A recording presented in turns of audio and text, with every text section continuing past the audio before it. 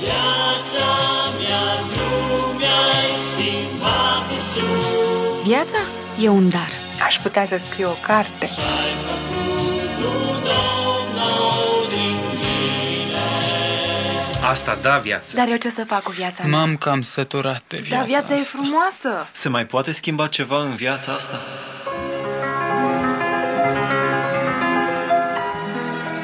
Vieți transformate.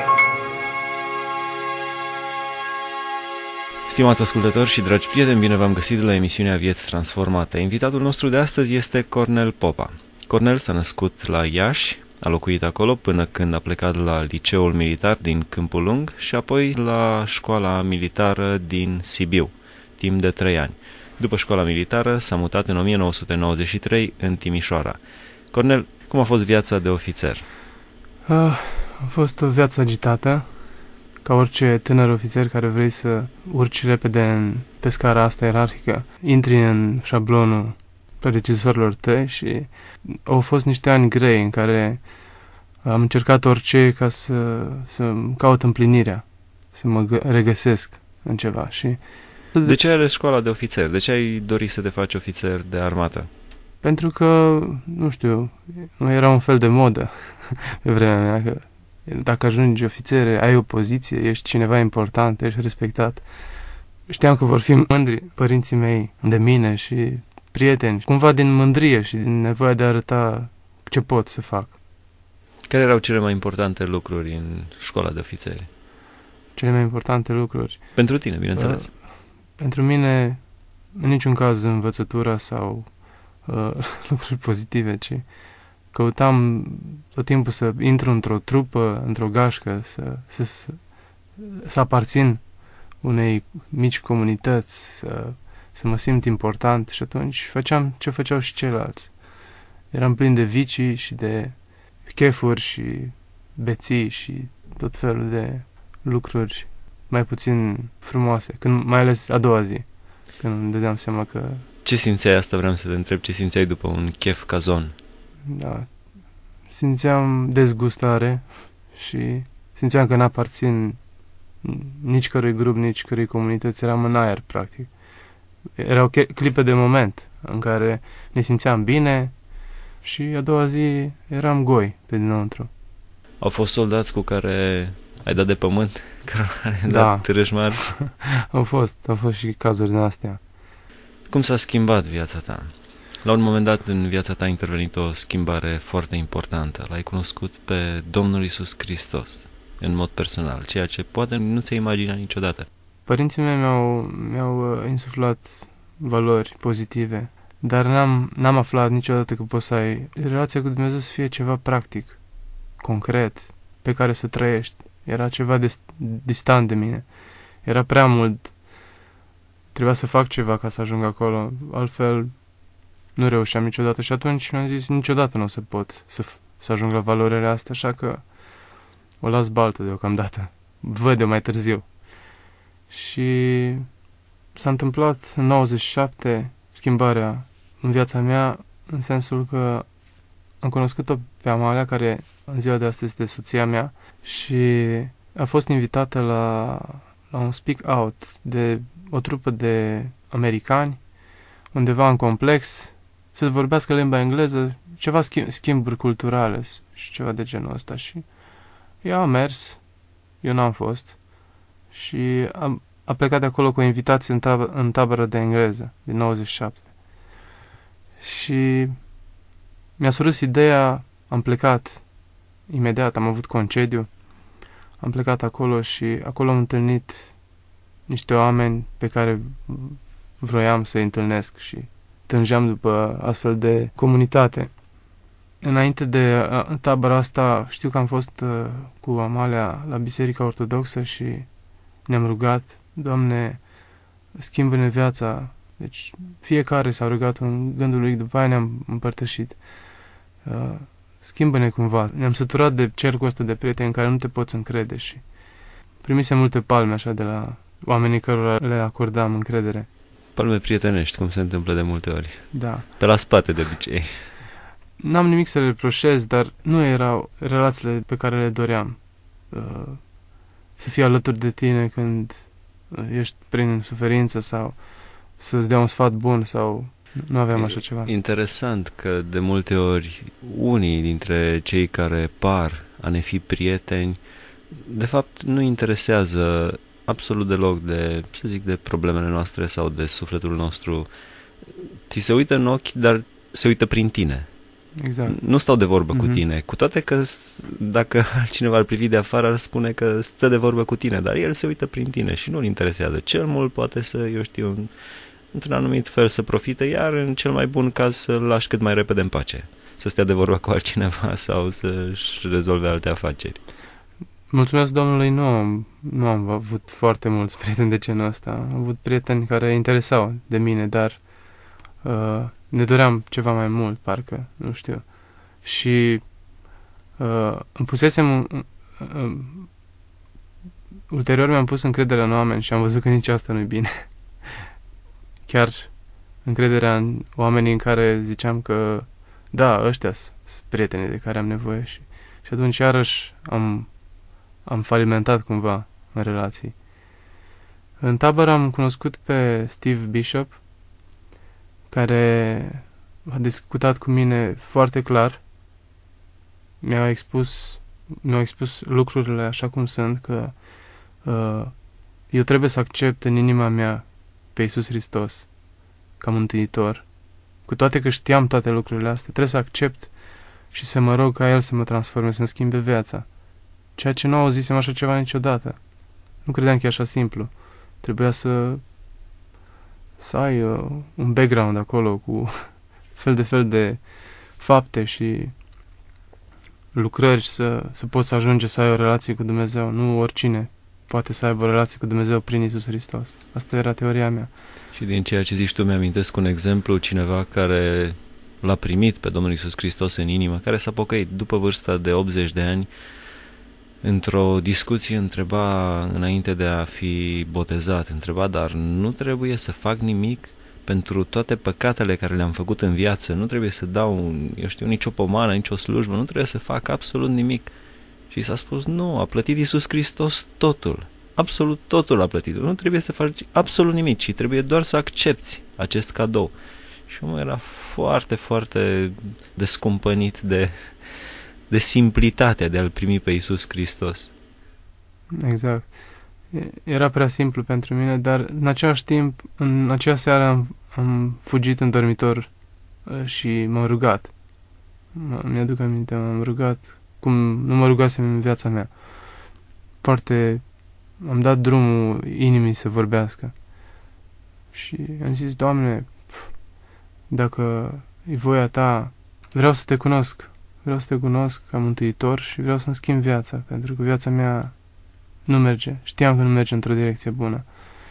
Și atmosfera creată acolo în tabără m-a făcut să mă simt cum nu mă simțisem în altă parte. Și știu că Dumnezeu folosise, se folosise de oamenii aceia să-mi arate că totuși există comunitate în care pot să cresc și eu, pot să, să-L cunosc pe Dumnezeu. Ceilalți pot să mă ajute, dar nu să mă încred în ei. Și plecând din tabără, am fost mutat la Iași și asta era răspunsul rugăciunii mele din seara aia. Doamne, dă-mi un semn. Așteptam asta de vreo 2 sau 3 ani, să mă mut la Iași sau nu. Și am fost mutat miraculos la Iași. Eu deja nu-mi dorisem, asta e altă poveste.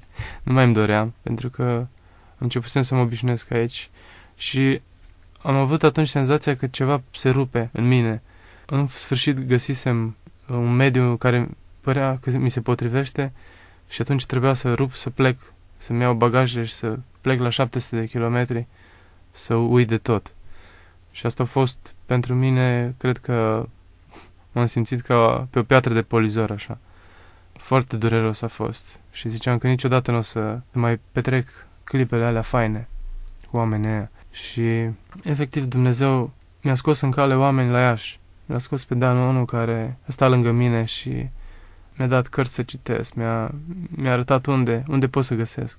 Pot să zic că viața mea s-a transformat ușor, ușor. Am început să înțeleg tot mai mult să, și nu numai asta, ci să simțeam că nu pot să țin pentru mine asta, și trebuie să o spun și la alții și așa am ajuns în biserica Eclesia la Iași. Ulterior ne-am mutat înapoi la Timișoara, dar uh, în toate lucrurile astea am văzut mâna lui Dumnezeu, am văzut că e prezent, efectiv este prezent în viața mea, pentru că am realizat și realizez în fiecare zi că viața cu Dumnezeu este ceva practic, este ceva concret, este palpabil, nu este departe, este, merge paralel cu universul ăsta material care îl vedem. Toată această perioadă am avut împlinirea fantastică, împlinirea că l-am cunoscut pe Dumnezeu personal am putut să vorbesc cu el, să, să-mi uh, descarc sufletul, așa cum nimeni nu mă ascultă. Și am avut și foarte multe minuni în viața mea, să zic. Minune de a cunoaște pe Amale, de, de a ne căsători. Avem un fiu, Robert, de două săptămâni. Să-i dea Dumnezeu sănătate lui Robert, două săptămâni. Este deja băiat mare. Da. și viața a fost presurată cu, cu binecuvântări și pace și liniște și știu că asta nu găseam niciunde. Nu găseam niciunde. Am găsit numai relația cu Dumnezeu, cu Isus Hristos. Pentru că m-a, m-a impresionat foarte mult ce am citit din Ioan. Așa de mult a iubit Dumnezeu lumea că și-a dat singurul fiu ca oricine va crede în el să nu piară, ci să aibă viață veșnică. Și am zis, Doamne, cât, cât ai suferit și cât, uh, cât ai dat pentru mine, cât ai dat filmele alea care le vedeam mai de mult cu Isus de Paști, le dau pe televiziune, filmele mă, mă țintuiau locului, parcă. Știam că, simțeam că e mai mult decât pare. E, e, este ceva mai mult decât... Imagine și sunet și scenariu da, de film. Da. Cuvintele, practic, cuvântul lui Dumnezeu era viața. Și asta trezea în mine ceva mort, adormit. Și, și după aia am recunoscut, când am luat Biblia și am început să citesc. Am văzut că efectiv mă hrăneam cu un fel de hrană pe care uh, nimeni nu putea să mi-o ofere. Și am fost fo- foarte impresionat, foarte impresionat de, de uh, cât a putut Dumnezeu să dăruiască, cât har ne-a dăruit mie personal. Personal, pentru că nu, când vorbești de ceva în general, e una și când e vorba de tine ca persoană, mi-a dorit mie personal, necondiționat, fără nicio condiție, pur și simplu, prin har. Și am acceptat lucrul ăsta și bine am făcut. Te-au înțeles ai tăi? Ah, Familia, a fost, prietenii, colegii de la armată? a fost greu. Unii colegi de la armată au înțeles pentru că toată chestia asta are logică. Și poate că și ei în sufletele lor căutau aceleași lucruri. Da, sigur. Și am văzut în mulți dintre ei dorința după așa ceva, dar nu pot să renunțe la viața asta. Mai un pic, mai un pic, mai gust un pic. Și uh, pf, trebuie să o rup definitiv. Trebuie să o rup definitiv pentru că oricum găsești mai mult decât lași. Deci n-am avut nicio părere de rău pentru ce am lăsat. Pentru că n-am lăsat nimic, practic, în urmă. Era totul o, o falsă viață.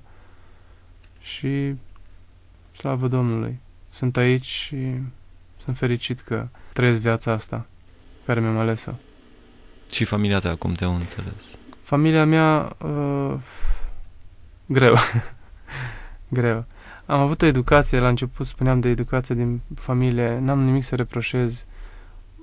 Uh, mai ales bunica și-a pus o amprentă foarte puternică asupra vieții mele. Uh, mi-a prezentat lucrurile destul de clar, eram tânăr și după aia am făcut conexiunea mai târziu cu cele învățate și uh, bunica nu mai, din păcate, nu mai trăia în momentul în care eu mi-am schimbat viața. Și, dar, dar mama mea nu, nu pot să zic că a înțeles. Ea spunea, dar și eu sunt la fel ca tine, dar de ce trebuie să pleci la altă biserică? Și am spus plec la altă biserică pentru că cei de acolo mi-au spus un adevăr pe care nu l-am auzit niciodată. Mi-au spus că poți să ai o relație personală cu Dumnezeu și că nu trebuie să faci nimic pentru că totul este făcut deja. Totul s-a făcut, nu mai trebuie. N-am, n-am ce să mai fac eu. Și a fost un proces greu pentru mama să înțeleagă și că frica asta în oameni de să schimb religia. Eu nu consider că mi-am schimbat religia și nu vreau să cred că sunt într-o religie acum, ci vreau să zic că l-am câștigat pe Dumnezeu de partea mea. Și ți-ai schimbat relația. Religia înseamnă relație, de fapt. Da, Ți-ai schimbat relația. Am Înainte schimbat. n-aveai nicio relație și acum ai o relație personală cu Dumnezeu. exact. Mama, bineînțeles că a intrat în panică, a crezut că sunt uh, manipulat de cineva și aceeași frică am avut-o eu. Când am intrat prima oară în biserică, am zis, stai un pic, ce e aici și uh, de ce mă simt eu așa bine? Pentru că n-ar trebui, ar trebui să fug de ăștia, de pocăiți. Și atunci m-a rugat. A fost a doua oară, probabil că m-a rugat și am zis, Doamne, Tu ești Cel care ești suveran peste tot și știi dacă aici e locul în care trebuie să mă duc. Era o biserică independentă, foarte deschisă și liberă și în care puteai să, să binecuvântezi pe Dumnezeu cum știai mai bine. Nu erau legi, nu erau bariere. Și m-a rugat Domnului, Doamne, dacă e ceva putre de aici, te rog să-mi descoperi și să mă, să mă fugărești de aici. Dar dacă e casa ta și locul în care mă întâlnesc cu tine, binecuvântează acest loc și acțiunile oamenilor de acolo și ce a urmat după aia a demonstrat faptul că eram la locul potrivit. Îmi spunea altcineva că atunci când s-a întors la Domnul, când s-a pocăit, așa cum se spune, îl întrebau prietenii, bă, vezi, fii atent să nu te pună ea să semnezi că-ți ia casa, că nu știu. Da, Da, probabil că nimeni dintre cei care sunt cu adevărat pocăiți nu interesează așa ceva, dar mai mult decât atât se pare că cei care se întorc la Dumnezeu primesc o casă, dar nu o casă pe pământul acesta, ci o casă în cer, un loc pregătit deja de Domnul Isus Hristos, dar pe care prea mulți oameni îl- îl refuză. Domnul Iisus Hristos, când s-a înălțat de pe pământ, le-a spus ucenicilor și implicit peste secole și nouă, mă duc să vă pregătesc un loc și mă voi întoarce ca acolo unde sunt eu să fiți și voi. Acum depinde de fiecare dintre noi dacă acceptăm acel loc în cer, în împărăția lui Dumnezeu, în rai, sau îl refuzăm. Așa cum spuneai tu despre cunoscuți, îl refuzăm spunând nu astăzi, mâine, nu astăzi, mm-hmm. mâine. Și de fiecare dată există un mâine până când nu va mai exista un mâine. Până la Exact. ultimul astăzi. exact. Și tot ce a urmat după aia a fost har. Deci a fost har. Am, am, am fost uh, efectiv hrănit, hrănit de, de Dumnezeu, în duh și adevăr. Uh, am început să, să învăț tot mai mult, să, să cunosc uh, Biblia și uh, stând lângă oameni care uh, îl cunoșteau pe Dumnezeu de mulți ani, am început și eu să, să înțeleg, să mă implic mai mult și să vorbesc cu oameni care tot așa căutau un loc și nu își găseau. Și Te-ai lăsat de slujbă, de ofițerie, de armată? a, m-am lăsat acum 2 ani. Da, da, m-am lăsat, am avut o, o operație, chir- uh, o hernie de disc la coloană și asta cumva mi-a limitat prezența mea prin armată și atunci am luat decizia să... În timpul ăsta făceam în facultate de cadastru și am luat decizia să, să plec. Dumnezeu mi-a pregătit plecarea într-un fel în care nu mă așteptam de acolo. Da, am plecat din armată și acum sunt, sunt civil. Acum ești la dispoziția și la ordinele altcuiva, Da, la altcuiva. dispoziția lui Robert. Ești tată, Da, pe de o parte, și pe de altă parte ești la dispoziția lui Dumnezeu. da, Ești înrolat în armata lui Dumnezeu. da și este fain când știi că nu totul se termină aici. Mă gândeam ieri, ce fain e când simți gustul veșniciei. Știi că nu totul se reduce aici și la început a- aveam o părere greșită vis-a-vis de, de ce va urma. Eram uh, orientat numai spre faza asta de, a- de a avea viață veșnică și atât. Eu, eu am viață veșnică, o să merg când o să mor în rai și asta e scopul pe care mă centram cumva. Dar am, am realizat că era o atitudine greșită. Era cumva un, tot un interes. Și mă interesa să să ajung acolo, într- să fiu eu înaintea celor multora, să fiu în siguranță, să... dar mi-am dat seama că ceea ce mi-aduce bucurie și împlinirea e relația personală cu Dumnezeu și nu... Răsplata. Da, nu răsplata, ci relația și în cer știm că voi, vor fi numai, deci numai închinare, va fi închinare și nu, nu altceva. Și dacă nu înțeleg ce înseamnă închinare aici și să simți gustul veșnicie, cel mai, cel mai bine îl simți când ești aproape de Dumnezeu și ai o relație personală zilnic, îți mărturisești păcatele și te pocăiești, așa cum spunea Iisus Hristos, pocăiți-vă. Pentru că asta era imperativ, pocăiți-vă și nu era o cerință sau așa, băi, dacă vrei să vii la biserică, bine, ci pocăiți-vă. Și asta e, așa s-a schimbat viața mea. Cred că acum ești bucuros în armata lui Dumnezeu, dacă putem pune așa între ghilimele. Ai un comandant suprem care nu face nici greșeli, care nu va fi niciodată acuzat de corupție, care nu ia niciodată decizii greșite. Și mai mult decât atât, vei ajunge să-L întâlnești și să stai față în față cu El, cu Domnul tău, cu Domnul Isus Hristos, cu Dumnezeu. Vei ajunge să, să-L cunoști personal, pe Cel pe care l-ai slujit să dea Dumnezeu să ai cât mai mulți ani de slujire de acum încolo. Dacă mai avem Mulțumesc. timp, pentru că aveți un băiețel și în special pentru tine că ești tată, un, un cadou deosebit. Nu este vorba despre un dar muzical, ci este vorba despre câteva meditații pe marginea noi tale slujbe, aș spune, noi tale profesii, cea de tată sau noi tale îndatoriri. Cornel, îți mulțumim, stimați ascultători, vă mulțumim și fie ca Dumnezeu să binecuvinteze și să folosească viața voastră în continuare. Mulțumim.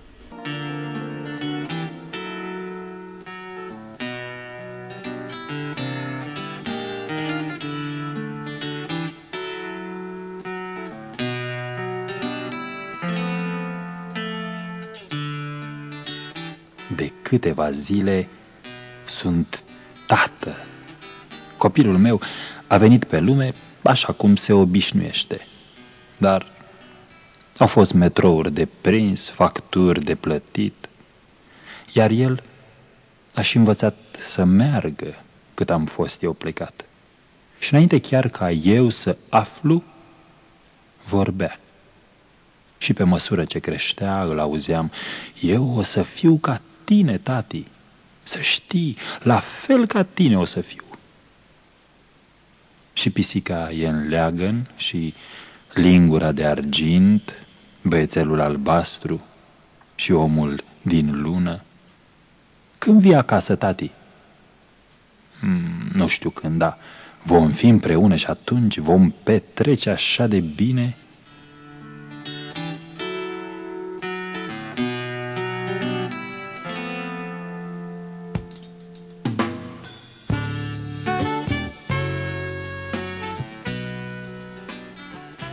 Copilul meu a împlinit 10 ani zilele trecute. Mi-a spus, mulțumesc pentru minge, tati, hai să ne jucăm cu ea, vrei? Mă înveți arunc la coș? I-am răspuns, nu astăzi, am atâtea de făcut. El a zis, bine, și a plecat. Dar zâmbetul lui spunea, o să fiu ca el, da, să știi că o să fiu la fel ca el. Și pisica e în leagăn și lingura de argint, băiețelul albastru și omul din lună. Când vii acasă, tati? Nu știu când, dar vom fi împreună. Și să știi că ne vom simți nemaipomenit.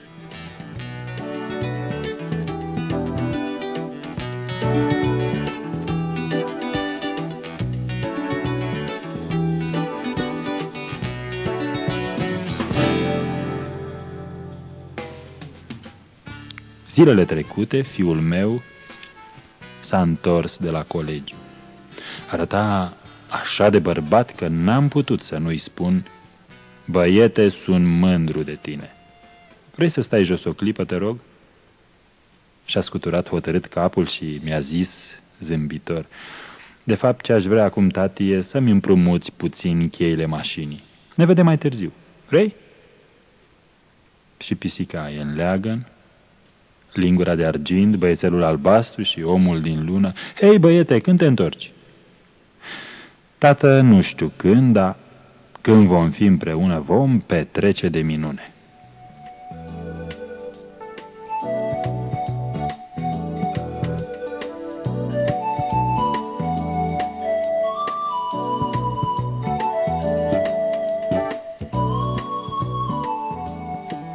Am ieșit de mult la pensie și fiul meu s-a mutat. L-am sunat chiar zilele trecute. I-am spus, aș vrea să te văd puțin dacă poți.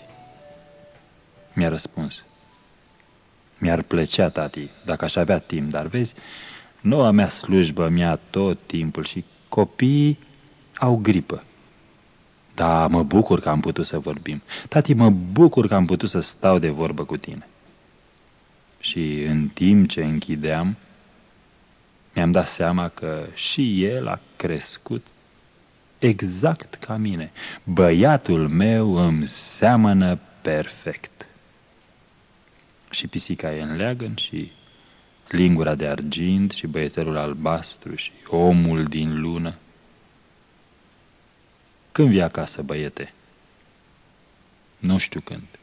Dar vom fi odată împreună, tati, și ne vom simți foarte bine atunci. Și pisica e în leagăn și lingura de argint și băiețelul albastru și omul din lună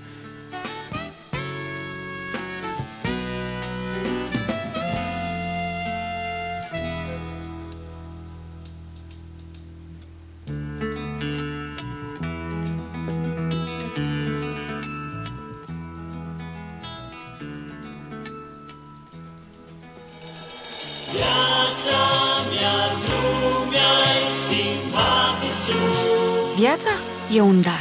Aș putea să scriu o carte. Ai făcut tu, Domn, nou din mine. Asta da viață. Dar eu ce să fac cu viața mea? M-am cam săturat de viața Dar viața e asta. frumoasă. Se mai poate schimba ceva în viața asta?